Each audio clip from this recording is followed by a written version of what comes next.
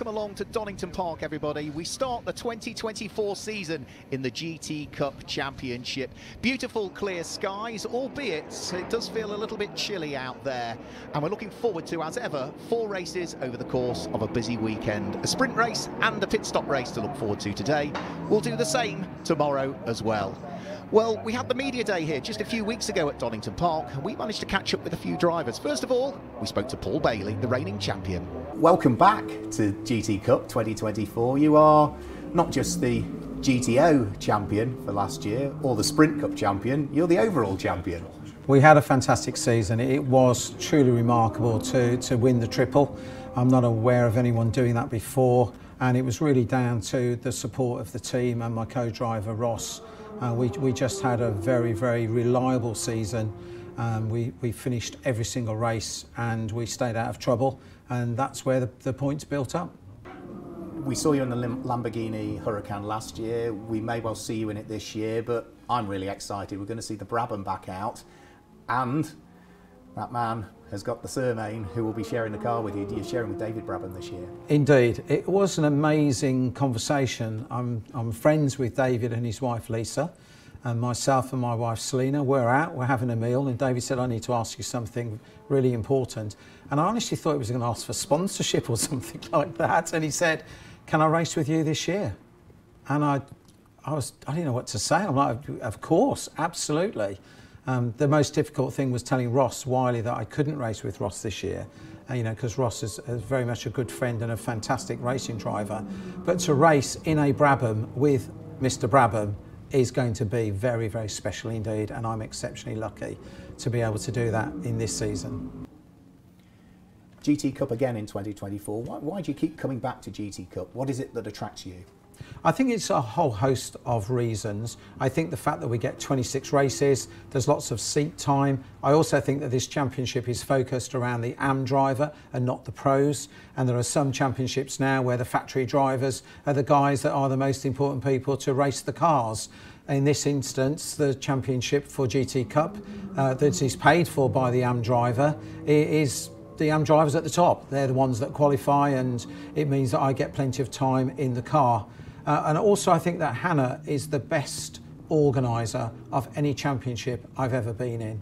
I mean, we all know what's going on. We're all in a, a good place, understanding what's happening next. And we don't ever get caught out of, of the car not being ready to go on track, for example. Um, and I, I, think that makes a big difference when you're with somebody and you've got a team around you that really ensure that the racing drivers know what they're doing and they're relaxed and they're ready to go racing and not thinking, blimey, I, I wasn't told we're going out in three minutes and the tyres on the car and I ain't got my suit on.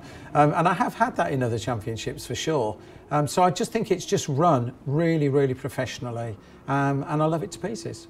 Well, that's Paul Bailey, our reigning champion.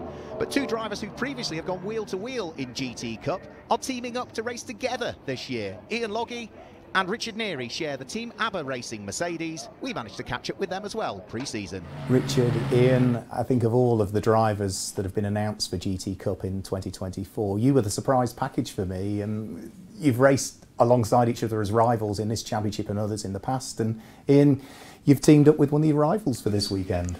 Yeah, I, I'm really looking forward to it. I think uh, we'll do a good job together. I, I think we're both pretty tough racers and being in the same car can only be a good thing. You look, Richard, at the battles that you've had with, with Ian out on track in the past. Um, you know the way each other drives, and therefore you can sort of, you know, complement each other in, in that respect. You must be looking forward to, to bringing him into the family team. Absolutely, yeah. I, I'm looking forward to the season. I think, you know, I think uh, we're an am-am pairing, but I think we'll be pretty strong and you know, uh, we, we won't be having any on-track battles anymore, will we? We've cured that, so I think we'll, I think we're going to run well together. And you've both got a, you know, a good CV as well. You're a former overall GT Cup champion back in what was it 2021 2022 yeah, and, and Ian a former British GT champion from from 2022 so your, your aspirations coming into this season Ian must be walk away with the overall championship if you can yeah absolutely I, I would uh, like to have a, a big year. We've got a lot of races this year. Obviously, uh, GT Cup is uh, uh, 20 odd races. Um, I, I think overall we can score good points at the, the majority of the rounds. and if we do that, we've got a good chance of being overall champions. So that'll be the that'll be the aim all of those races, Richard, it's a, it's a mixture of sprint races and the pit stop races. So come the pit stop races as a, as a sporting sporting pairing, you'll have that advantage because you'll have to spend less time in the pits. But as you well know, come the second part of the race, the pros jump in and they'll be trying to hunt you down. Yeah, absolutely. But I think I think what will be key to, to mine and Ian's success is that, that neither of us are learning a new car. We've both done a lot of seat time in a Merc, and we both know all the tracks very well and yeah, we're going to be an am pairing. We, we do, I, I expect us to sort of try and make headway in the first part of the 50 minute session when there are no pros out there. And, and the pit stop penalty, I think historically has, has made it that, you know, if you both do a decent job, you're still in with a fight for winning it. Out of interest, how did this sort of arrangement come around? When did the, the first conversation take place or the first phone call was made about, hang on a minute, is there is there a space for me in, in the Abba car this year, Ian? I think uh, obviously Sam, Richard, Richard and Sam have discussed it uh, in the background and then I was having a discussion with Sam about it and then uh, it sort of, it just sort of uh, just evolved, from there, just it? evolved yeah. from there. yeah. yeah. And it seems as though you know you've known each other a good few years, albeit you've been racing in different cars, different teams. It seems as though there's quite a close knit friendship already, or yeah, or, or fairly relaxed atmosphere. Yeah, yeah. I think we uh, we both understand each other. We're both sort of similar characters, and uh, we both know what we've got to do. I, so we, we will be uh, we'll be racing hard, but uh, but fair. So I'll, same question to, to both of you. Why did you choose GT Cup for 2024, Richard? Uh, yeah, basically, uh, I, I'm, I'm racing in, in British GT, and I, we needed to find a championship that, that was running on the same tyre. So, so I had sort of some. Uh, I wasn't trying to learn a new tyre each weekend, and, and, and also something that was going to be competitive to racing. Uh, and really, there's not much other choice than doing this championship. Same question to you. Yeah, I think to want to, to I'm also racing in British GT, and to, to win either GT Cup or British GT, they both complement each other. As Richard says, the tracks are the same, the tyres are the, the, the same, so it uh, it makes us both really sharp for both of the competitions. So let's have a look at the Donington Park circuit. It's centrally located in the East Midlands on the Leicestershire, Derbyshire, Nottinghamshire border. We're racing this weekend on the Donington Park National Circuit, which is around about two miles long. It's split into three sectors and has nine separate corners, and this circuit can trace its roots back to the pre-war period. As the cars head off the start line at Donington Park, they get to Redgate, the first corner, and from there it's down through the daunting Craner curves all the way to the lowest point of the circuit, the old hairpin. From there, they climb uphill, round through Coppice, and the final sector, short one, through the right and the left flick of Robert Chicane. So there we go. That's a look at the circuit and the cars very shortly. we'll be heading around that Donington Park National Circuit in advance of the first race of the season. 26 races to get through. Round one heads off on the formation lap with the driver we've just been chatting to, Richard Neary, starting the Mercedes from pole position. So the teams have to identify and notify GT Cup as to which driver starts in each one of the sprint races. So I can guide you through those drivers in a moment because we'll be heading through the grid. So it's a Mercedes and a Lamborghini on the front row of the grid. Richard Neary is there on pole position. Alongside him is Tom Rawlings, who returns to the championship and is now on board the Top Cats Racing with Hex.com Lamborghini. Row two of the grid is Seamus Jennings, and for company, he has the number three car that's in the hands of Warren Gilbert in the second of the two Top Cats cars. Paul Bailey, the reigning champion, lines up alongside three times a former Legend Cup champion, Miles Rudman, who is new to the championship in his Porsche on row number three. And row four of the grid, it is going to be the first of the cars in Group Mikey Porter in the Forsetti. Aston Martin lines up alongside Jay Shepherd in the Lotus. As we move on to the fifth row of the grid, it's uh, Rihanna O'Meara Hunt, who's new to the championship, alongside Doc Bush, who returns in the Team Parker Racing Porsche. Chris Murphy's BMW sits there on the inside of row number six, alongside the number 31 Mercedes, which was going to be in the hands of uh, Charles Dawson for this race, the Team Parker Racing GT4 Mercedes. Then it's Chris Hart, who lines up in the first of the two Morpheus Mercedes. On row number seven of the grid, alongside number 11, which is the Paddock Motorsport Jake Poole driven McLaren. Leona Theobald in the Ginetta. She's starting her 50th Ginetta race in this race. Is next up alongside John Curry, who returns to the championship in the second of the two Morpheus Mercedes.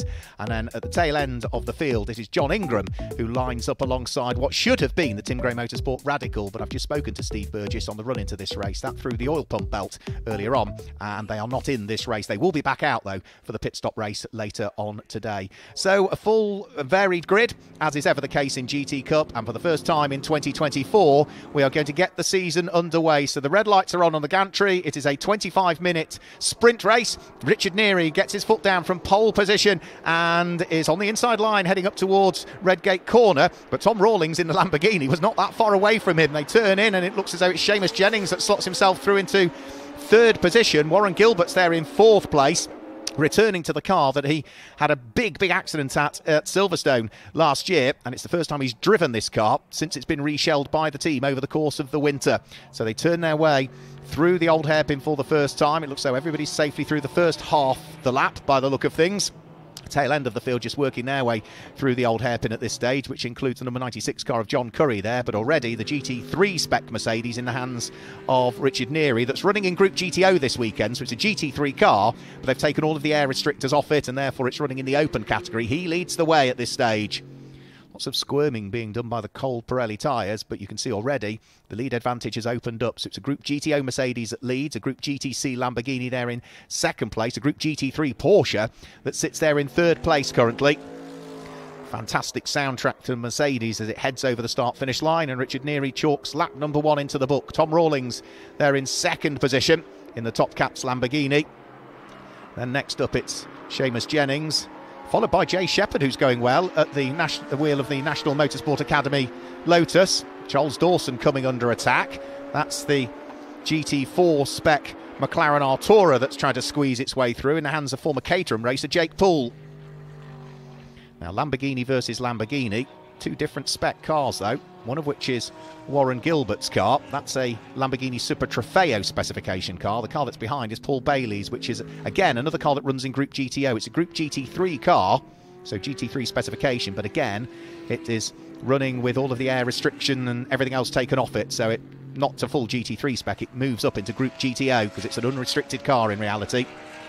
So Warren Gilbert's arguably might be a little bit quicker in a straight line, but Paul Bailey should have the aero advantage. And is the reigning champion going to squeeze his way through? He's looking for the inside line, heading in towards the braking area for the Robert chicane. See the nose of the Lamborghini dip. Through goes Paul Bailey, picks up the position. Warren Gilbert losing a place, and right behind him now is Miles Rudman at the wheel of the Porsche. So Miles is used to racing. He's been three times a UK Legend champion, but Legends, if you've not seen them, are little motorcycle engine cars that run on a treaded tyre on our 5 8 scale machines. So a much, much bigger car. Different prospect as well with the Porsche, and he's doing a brilliant job actually. Not driven anything this powerful in terms of racing before, but he's right on the coattails of Warren Gilbert, who's got plenty of experience driving in the Top Cats Racing Lamborghini. So they sprint their way up towards Schwantz Curve. All of the time, Richard Neary pulling away in the lead of the race. 1 minute 5.360 from him last time through. He was in the 1 minute 4s in qualifying. His lead advantage is already 2.8 seconds, but this is a good battle for 5th, for 6th, and for 7th at the moment. Miles Rudman sticking with the task in hand. You can see the last lap time from him was quicker than the Lamborghini ahead. I think Warren Gilbert now is well aware that this would be for group position. It would be for second and third in Group GTC. Group GTC at the moment being led by the sister Lamborghini in the hands of Tom Rawlings. So over the start-finish line they'll go. Order still remains the same. Miles Rudman too far back to try anything in towards the braking area for Redgate corner. Porsche just edges up onto the coattails of the Lamborghini of Warren Gilbert.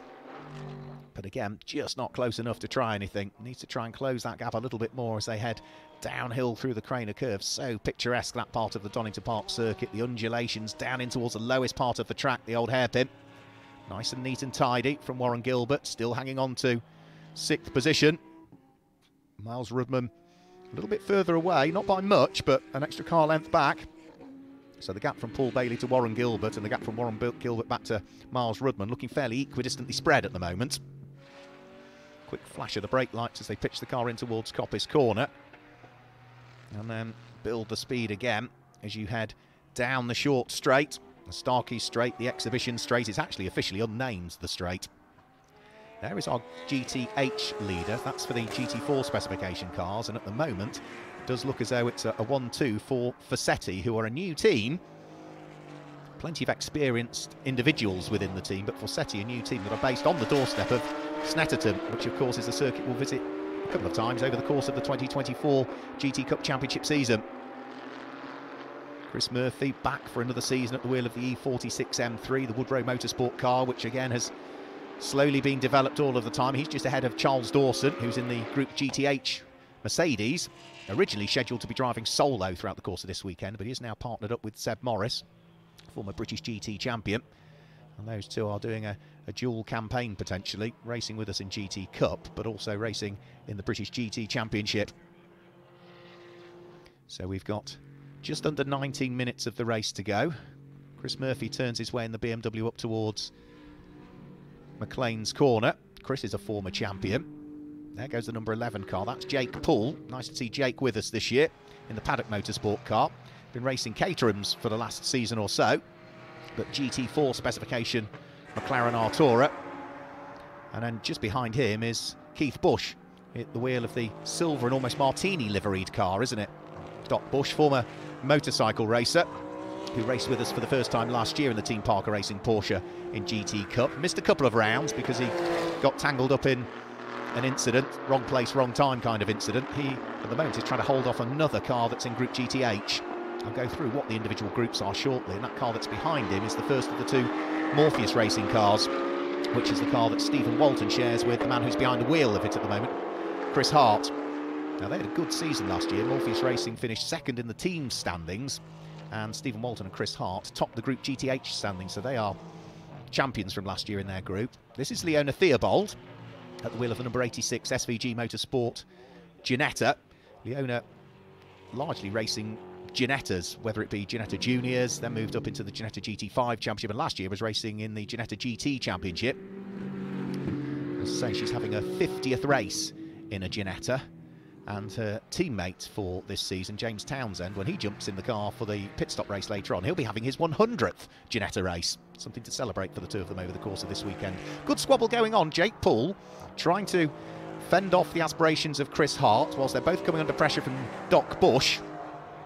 This is going to be for 12th, 13th and 14th position. Doc Bush losing out to the Morpheus number 69 Mercedes that time through. And now Jake Poole is feeling the pinch a little bit as Mercedes tucks from behind him to drawing alongside. Chris Hart tries to throw a dummy, then realises the door is closing, so jinks back to follow the McLaren Artura through Redgate Corner. Runs a little bit wide on the exit of it. Jake Poole is running fourth in Group GTH at the moment. Chris Hart will be fifth in Group GTH, and this will be for overall 12th and 13th places in the race. So down through the old hairpin, bouncing off the curbs. Some really hefty curbs on the inside if you take too much curb and try and shortcut the corner too much. There's some really hefty curbs on the inside of a few of the corners here at Donington Park. And again, you can see Chris Hart trying to harry Jake Poole round through the corners. But there's no chink in Jake's armour at the moment. 17 minutes to go. He's still hanging on to fourth overall in Group GTH. If you've not seen GT Cup before and you're wondering what the individual groups are, well, Group GT3, we only have one car in that for this weekend is for cars that run to full GT3 homologation. So, in other words, cars you'd see maybe in the British GT Championship or in the GT World Challenge Europe. Uh, Group GTO is for open specification cars, so that can include GT2 and GTE cars. And in the case of a GT3, if you take all the air restrictors off it, then you drop into Group GTO. Group GTC, which we've got a few cars in, that's for Cup specification cars, which are uh, built within the last five years. So, in other words, that could be, as in the case we've got a few of them out, Porsche Cup cars, uh, Lamborghini Super Trofeo cars, even Ferrari Challenge spec cars will be eligible for that as well. Uh, and then the other group which is represented this weekend is Group GTH, and that is for GT4 homologated cars, i.e., the two we're looking at now the McLaren Artura GT4 and the Mercedes AMG GT4. So those are the groups that are represented this weekend We do have a Group GTA and Group GTB, but no entrance over the course of this weekend. So we'll, we'll, tell you about those as and when cars appear in those groups later on in the season. So first 10 minutes have as good as gone. Still 15 minutes remain. Still this fantastic battle for fourth and fifth in Group GTH. The McLaren and the Mercedes of Jake Poole and Chris Hart respectively still squabbling away. Despite the fact they're squabbling, they're still pulling away from Doc Bush and into the pit lane, I'm afraid. That's Tom Rawlings that's in. Not quite sure what the problem is with the Top Cats Racing with Hex.com Lamborghini, but he was running right up there, wasn't he, in second position? And I'm afraid something has brought him into the pit lane. Nothing obvious as to what was wrong with the car. So inquiries will have to be made, and we can no doubt let you know later on. So that now means that Seamus Jennings in the Porsche moves up into second position, the GCAT Racing Porsche which is this car here. But look at the squabble. Look at the pressure he's under because he's got Jay Shepherd in the National Motorsport Academy. Lotus sitting directly behind him. They also squeeze their way through and past John Ingram's McLaren 570S. John, new to the championship. Driver that's raced in a whole raft of things over the years, John Ingram. Jolt, a new team as well that are based down in Southampton. Saw him coming, let the two cars go through. So this is GT3 specification Porsche fighting away with GTO specification Lotus. Down through the Craner curves they'll go, and that is for second and third place. And we've had the change by the look of things. Coppice Corner, I think we just missed it, but Chris Hart has snuck his way through and ahead of Jake Poole. So the Morpheus Racing Mercedes gains the place. That will now move Chris Murphy up into 12th position and put him fourth in the group. Jake Poole down to, oh, sorry, Chris Hart up to 11th position and fourth in the group. Jake Poole down into 12th. And it does look as though whatever the problem was that brought Tom Rawlings into the pit lane does mean retirement for his car by the look of things. So there's Warren Gilbert. He still hasn't as yet fully disappeared out of the wing mirrors of Paul Bailey's Lamborghini. Lamborghini Huracan.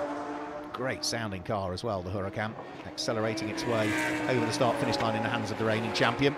Warren Gilbert right behind.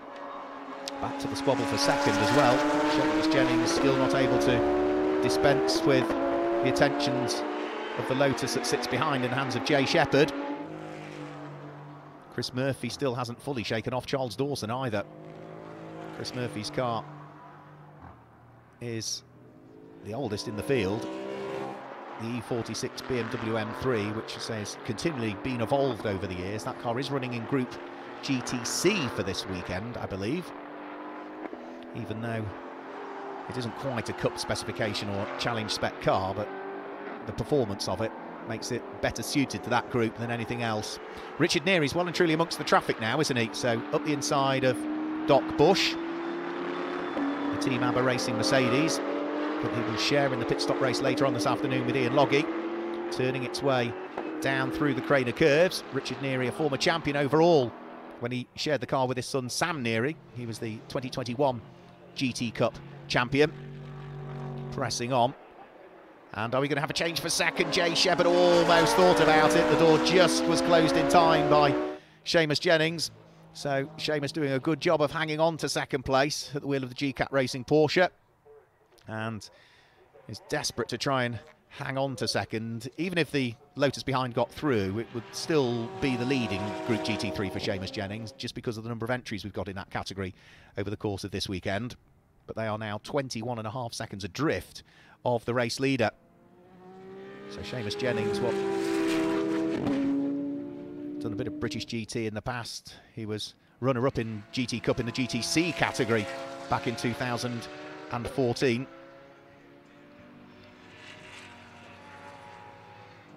So down in towards the you could leap their way through the chicane.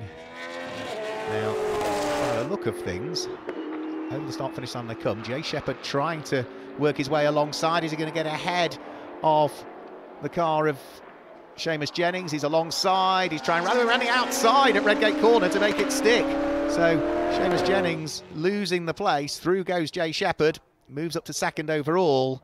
And down to third goes Seamus Jennings, who has made contact with I think some of the wildlife out on circuit, and it may well be that possibly the front of the Porsche has got a bit of damage to it. All the radiators, of course, are in the front of the Porsche, and I think you can see the telltale signs of where he made a little bit of contact with some of the wildlife around here at Donington Park. So hopefully that is not what's causing him to slow his pace. Now, the last lap Seamus Jennings did was a 2 minute 7.0. His best is a 2 minute 6.6, so he's not that far off his best because, of course, the tyres are going to degrade a little bit. So, I don't think there's any real cause for concern at the moment. So Through goes Doc Bush. Leona Theobald in her 50th Ginetta race, not that far behind. Those two are fighting for position. That'll be for 13th and 14th place. Then John Curry comes through, and then it will be the fight for second and third. Paul Bailey, look, still hasn't at the wheel of the Black and Dayglow Lamborghini, pulled away from Warren Gilbert, who's sticking with the task admirably, isn't he, to try and harry the Lamborghini ahead of him. Again, they're in different groups. Paul Bailey is a Group GTO specification car. It's a Group GTC spec Lamborghini Super Trofeo car for Warren Gilbert. As I say, this is the car that he, well, as good as wrote off at Silverstone, what was it, last year? And it's the first time he has driven this car subsequently. He has been back out in GT Cup, did a couple of races once he was recovered after that nasty incident in, in testing, but the car has been fully reshelled by the team over the course of the winter. I was chatting to Warren earlier, and he can't thank the team enough because literally they reshelled the car, haven't done anything else to it. It's run so, so well.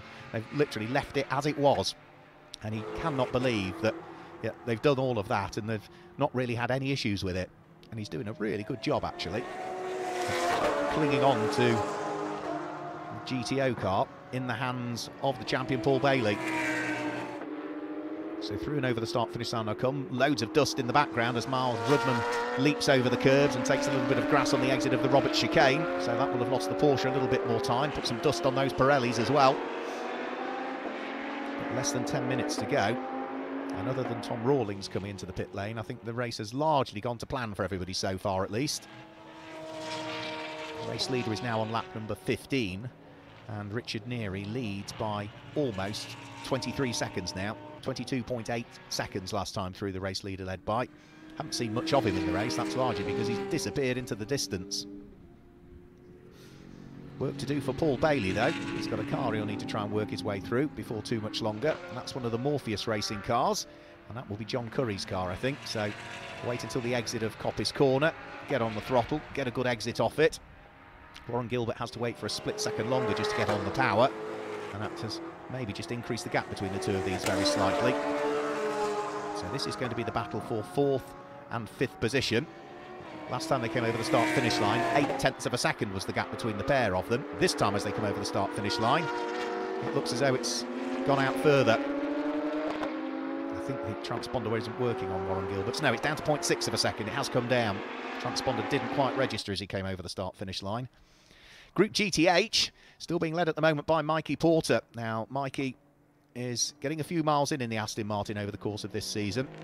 The opening round of the British GT Championship at Oulton Park, it was a good weekend for them, where they claimed a win and, what was it, third place, I think, in the opening round. Driving with a, a different co-driver this weekend than he's in British GT. He's got Matthew Higgins on board for the pit stop race later on today.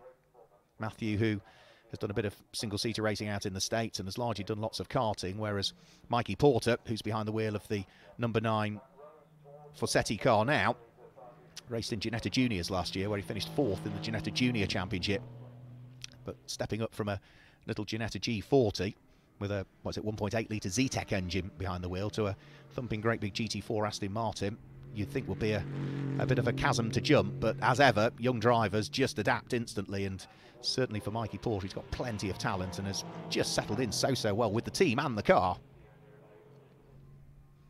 Chris Murphy is still there in ninth place at the moment, sitting third in Group GTC. He's got the 10th place car of Charles Dawson still right behind him, who is third in Group GTH. So, two cars, both third in their respective groups, fighting over ninth and 10th positions respectively. Chris, who's been a fundamental part of GT Cup for a good number of years now. Charles Dawson, I think, making his debut in the series. Doc Bush has got a car to deal with here. He can't afford to be delayed because he's got Leona Theobald right behind him, and the car is squeezing his way through and past is John Ingram at the wheel of the Jolt Racing McLaren 570. Keith Bush has gone through, and now this could be the opportunity for Warren Gilbert to pick the pocket of Paul Bailey as they struggle to get past the back marker. Just met the back marker in the wrong place. Can Warren Gilbert prise the door open? Yes, he gains a place. Also dives through on Doc Bush as well. Paul Bailey follows him through. Now, what Warren Gilbert was trying to do there was get a car between him and Paul Bailey. Didn't quite happen in the end because Paul Bailey also took the opportunity to squeeze past the Porsche. So the two Lamborghinis still busy squabbling away, but that worked in the favour of Warren Gilbert very much so, didn't it? He got a better run coming past that number 370 McLaren coming out of Coppice corner, and Paul Bailey couldn't quite get on the gas in time. Good to see John Ingram with us, say a driver who's done a bit of Clio Cup UK. We saw him in the Le Mans Enduro Series as well, John Ingram. Did British Formula 3 way back as well.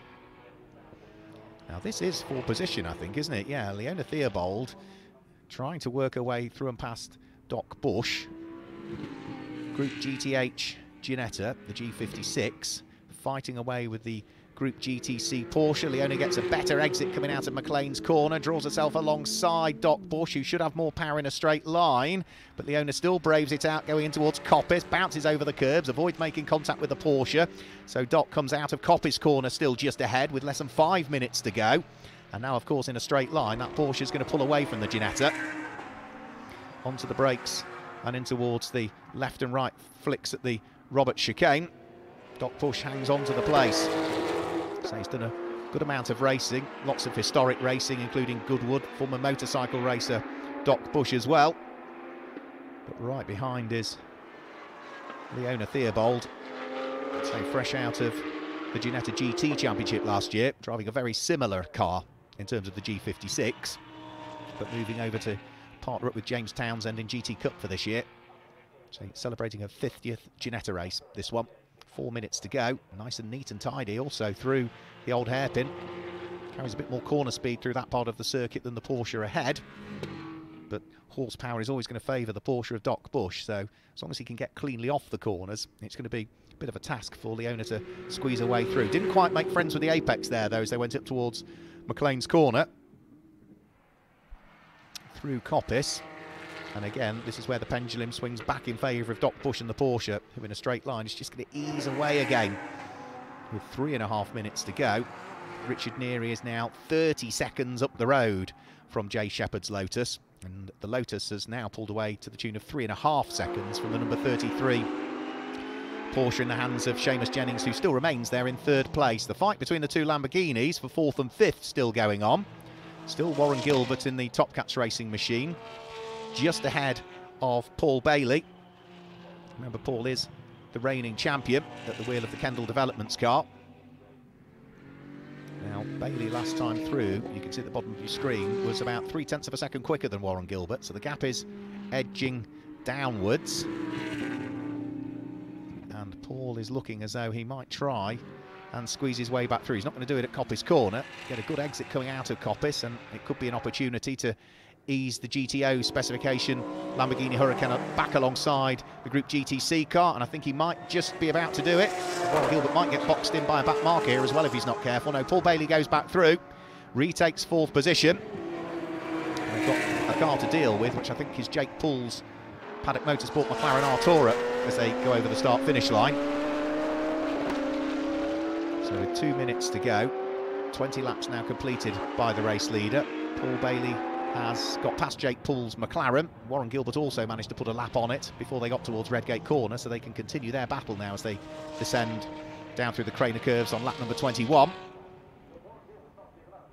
Nothing between the pair of them. Bit of a mid-corner wiggle there from Warren Gilbert. You could just see car didn't quite do what he expected it to do mid-corner, so just had to put in some steering correction, and instantly you can see that Paul Bailey has pulled another couple of car lengths there. So very small mistake, or just maybe the tyre's not quite giving the level of grip that Warren expected. And we're also seeing black and white warning flags now going out. That's going out for car number three, I think. So that car will have to be careful, which is Warren Gilbert. Chris Murphy still fighting away with Charles Dawson. So this is still the squabble for ninth and 10th position, whilst Jay Shepherd squeezes his way through and past. So that's the car in second place. Getting past Charles Dawson. Should be able to ease his way past Chris Murphy onto the top of Hollywood. And Chris quite sensibly just moves out of the way, lets the quicker car go through, forewarned by the marshals, waving their blue flags that quicker cars are approaching. Also a black and white warning flag out for car number 10 as well now, and that is going to be Rianna O'Meara Hunt at the wheel of the second of the two Forsetti Aston Martins. Rianna, who has moved over now to the UK. She's a Kiwi from New Zealand, but has now moved over to the UK. Family over here anyway, which makes it easier. And in the all-female car as well, because Jodie Sloss is her teammate for this season. So 30 seconds to go. Richard Neary is on his last lap, down through the Craner curves. He has built a substantive margin in the lead of the race. Doc Bush, sorry, uh, Seamus Jennings, I should say, rather, in the second of the two Porsches, trying to squeeze his way past that fight that's going on for 10th and 11th places. And in the background again, Paul Bailey and Warren Gilbert are still at it as they head on to their final lap of the race as well. Remember, this is going to be for fourth and for fifth position. Group GTO Lamborghini Huracan, just ahead of Group GTC car. Warren again needs to be careful. He's already been forewarned with regards to track limits. The car just went beyond the red and white painted curb there onto the green section. That may well be picked up on by race control. So he's treading a fine tight rope as Paul Bailey then runs wide, going in towards the old hairpin and gifts the place to Warren Gilbert as over the start finish line to win round one of the 2024 GT Cup Championship comes Richard Neary at the wheel of the Team ABBA Racing Mercedes. So Richard Neary a former overall GT Cup champion, claims the first win of the 2024 championship season. Second place will be Jay Shepherd. Third should be Seamus Jennings. And it does look as though Warren Gilbert is going to finish in fourth place following that small mistake from Paul Bailey. So here comes Jay Shepherd towards the checkered flag. Warren Gilbert trying to squeeze his way through and past Charles Dawson. So there's Jay Shepherd in the Lotus. Here comes Seamus Jennings to finish in third place. And fourth place on the line. Is Paul Bailey just about going to get there with the extra grunt in the GTO car? Yes, he does. He just goes through, I think, ahead of Warren Gilbert. We'll await for confirmation of that because Warren Gilbert's transponder isn't working. And it shows that Warren Gilbert did hang on to fourth place by a tenth of a second from Paul Bailey in the end. So it was the number three Lamborghini in fourth position. Paul Bailey didn't quite get there, finishing in fifth place. Miles Rudman sixth, and Group GTH will have been secured by Mikey Porter, who finished in seventh position at the wheel of the Forsetti Motorsport number nine Aston Martin. So for the number six Mercedes, Team ABBA and Richard Neary, they get the season off to the best possible start, winning by a very handsome 27 seconds in the end. That's the way to start the season. And certainly for the AMAM pairing of Richard Neary and Ian Loggie, they'll be looking forward to carrying forward that pace into the pit stop race that will be taking place later on today. We're scheduled to have that pit stop race starting at around about uh, 10 past 5, so it'll be about 5 o'clock this evening, probably when our live stream will get going in advance of our second GT Cup Championship race of the 2024 season. So all of the cars working their way back round in towards the pit lane area. There go the two Forsetti Motorsport Aston Martins. And a good job done by both of those, Mikey Porter and Rianna O'Meara Hunt, who is in for the full season, partnered up with Jodie Sloss. We can confirm the results for you then. First race of the season, the number six Mercedes of Richard Neary claims the win from Jay Shepherd in second place, but look at the gap between the pair of them. Seamus Jennings was there in third place, uh, and Warren Gilbert snuck fourth in the end, just ahead of Paul Bailey, who finished in fifth place, the reigning champion. Sixth place, Miles Rudman. Seventh place in the winning group GTH goes the way of Mikey Porter. Rianna O'Meara Hunt finishes in eighth place, and Chris Murphy and Charles Dawson had a brilliant battle over ninth and tenth place. Then it was Chris Hart who finished in 11th place. Jake Paul in his first GT Cup race in the McLaren Artura was in 12th place, ahead of Doc Bush in 13th. Fiona Theobald in her 50th Ginetta race finished 14th, ahead of John Curry, who was 15th. And John Ingram was the last of the finishers in 16th position. Sadly, we lost the car of Tom Rawlings when it was running in second position. He had to bring the Lamborghini Super Trofeo car in towards the pit lane. And that's the way that they have wrapped things up for the first race of the 2024 championship season. So all of the cars being pushed back into their garage areas. They'll be back out, as we say, later on this afternoon. Around about five o'clock, probably we will go live. But for the meantime, thanks for joining us for the opening round of the 2024 GT Cup Championship. Go and grab yourself a cup of tea and some lunch. We'll see you later on. Goodbye.